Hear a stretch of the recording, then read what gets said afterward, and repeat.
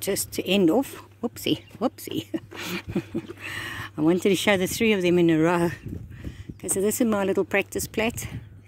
Yes, Savannah, let's look at his eyes. Come here, come here, come here. Let's say hello to your eye properly. Hello, here you are. Peekaboo, let's put this back on. It's a very necessary evil. Yeah, and there's Saji. I'm going to put hers back on in a minute. I'm going to give them all a handful of treats. no, no, not now. There's a plait. That side.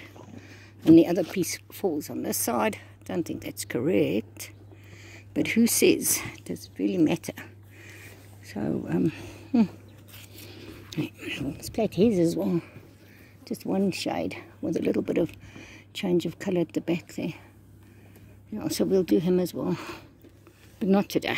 I need a step to stand on. So just says, all attention on me, please.